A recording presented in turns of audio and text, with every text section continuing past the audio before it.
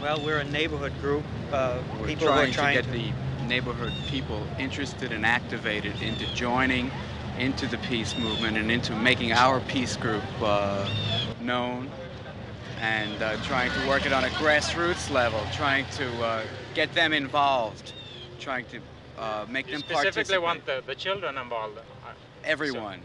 And if it starts at the child's level, why not? Because they'll bring it into the home too. Right, the idea of peace catches The i- on with the children. Why not? Why Which shouldn't it? They'll good. ask Peace questions. is a state of mind, and that's why the children are involved. Yes. Right. They'll ask questions, they'll bring it home, and maybe some questions will start to be answered.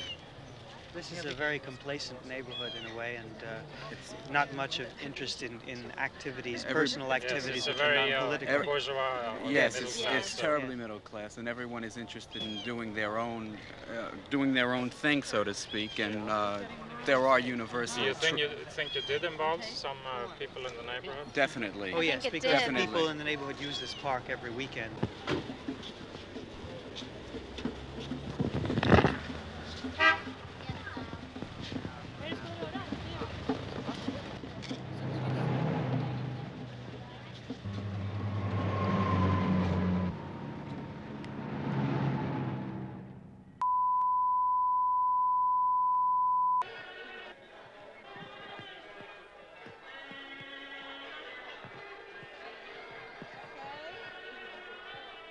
Hello, hello,